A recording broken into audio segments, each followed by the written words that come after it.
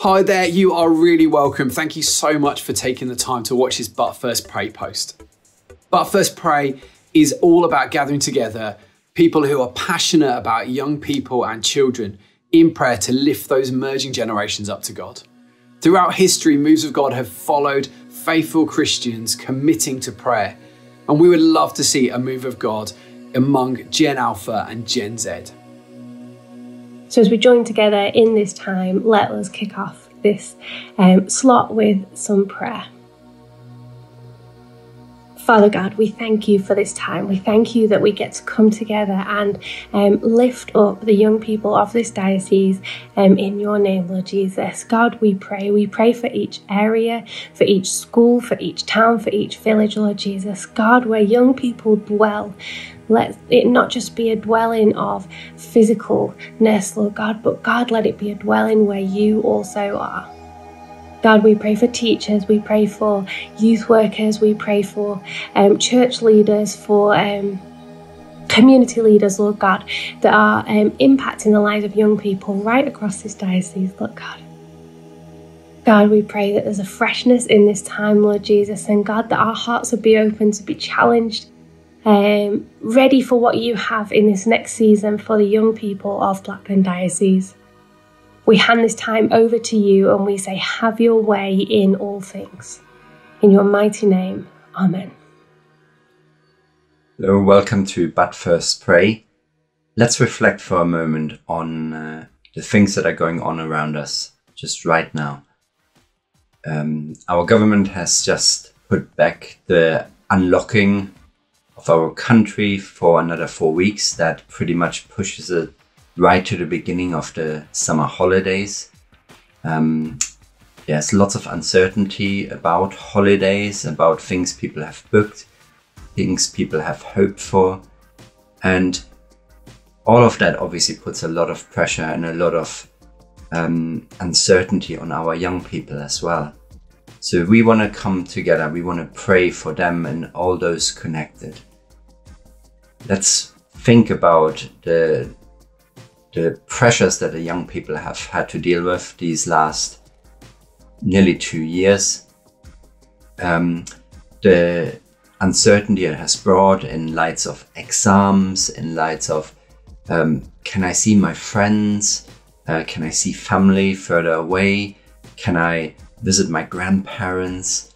Um, there have been deaths around. There have been uh, a lot of disruptions to plans people have been looking for a year forward to a summer holiday.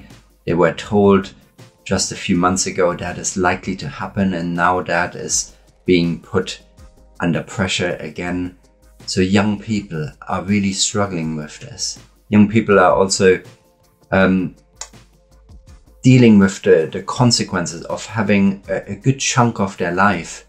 If we're thinking of a 10 year old, this is nearly a fifth of their life soon that has been in this coronavirus infected um, thinking and just adjustment. So please pray for these young people and please pray for all those people around them that are trying to support them, that are trying to help them to adjust to this new normal, help them to um, prepare for whenever it is when when things open up again, when they're suddenly sitting next to people right close without a mask, when they're suddenly being able to go out and mingle with huge groups, when they're suddenly being able and maybe even forced to go on school trips, to go into um, swimming pools full of people, into all these environments that they're not used to. And please pray for yeah, all the teachers, all the youth leaders, all the church leaders, all those people that want to look after them and especially their parents as well. Let's do this together now and commit it all to God because He's in control no matter what else is going on. God bless you. Thank you so much to Oprah for that thought to help focus and encourage us today.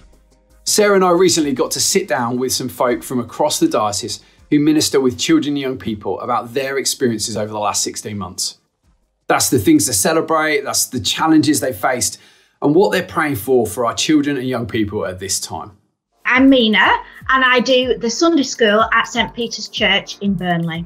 I am Lucy, um, and I work um, at St James's Church in Clitheroe as their youth minister. I've been in post since February 2020. Joe Taylor, based in Scotland. I'm currently church warden, which I've been for the last four years of St Peter's Church.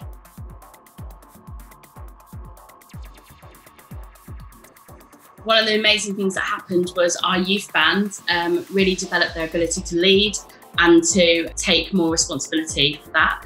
And they've really grown and developed. We've also, since coming out of lockdown in September, had new young people start because we've been able to start some new activities here at the church. It's really given me an opportunity to have a blank slate and to kind of really work things with, with where God wants to take the stuff now, um, which is which has been really positive. We've had a Sunday school Zoom, which um, we've run every week, sometimes occasionally more than a week if it depends on the, the church year that has been very, very popular uh, and has meant we've all kept together when we've returned to church.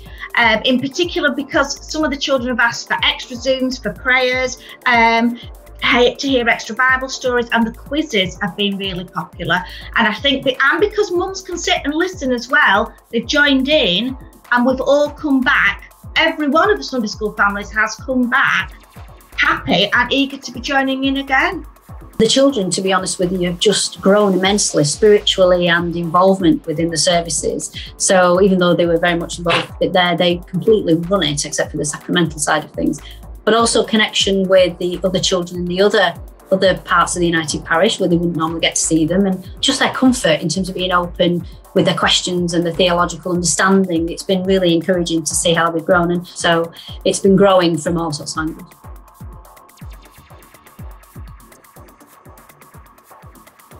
Not to lose that momentum. I got it on screen because it's grown. The congregation has grown by about 12 uh, since lockdown. So again, how you move from this online to that hybrid church, and so it all continues to grow and it doesn't split up again because together, united, we're stronger. Obviously, we're meant to be one. Because the youth didn't even know me, they had no relationship with me. So then having to do stuff online, but then of course things unlocked. We started doing some face-to-face stuff. We met them, and then it all all came crashing down again. And so the challenges have been getting it going actually building up the youth and then somehow by only by the grace of God, I'm sure, keeping it going when we had to keep coming up with new plans.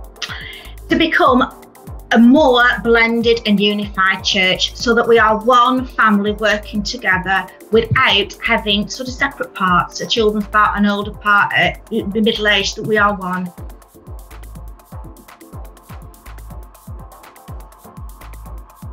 Help them spiritually further as they go along in their lives. You know, they don't lose their relationship with Jesus as they go on. That their faith is a living faith. It's with them every day and it's real. To reach out to a much wider area so we don't lose them at year seven. For those that are moving on to their next step. My prayer would be for those young people that they would trust God with their future. That as a church community, we can support them in whatever way uh, they will need in the future. For young people, you know, with all this, we've got to isolate because you're near that person and things, um, that they wouldn't develop um, this fear of being with other people. To really just keep them to exploring and us helping them walking in faith to, to achieve the plan that God's got for them. And my third one would be for mental health, for young people that need that support, that need help, that they would get the support they need, and that we would become more aware particularly young people and their mental health and the things that cause it so we can help them. And finally, that they, they themselves will grow to be able to give this message of God's love out to everybody else. Maybe what has been shared by Mina, Lucy, or Joe has resonated with your experience. Maybe it hasn't. But as we set our eyes on God and lift these emerging generations up to Him, take a moment to thank Him for the wins you've seen this year. Ask Him to be in the challenges with you that you face and that through what you do to share his love with children and young people, that they would come to know him for themselves. Thank you so much for watching this. God bless. Goodbye.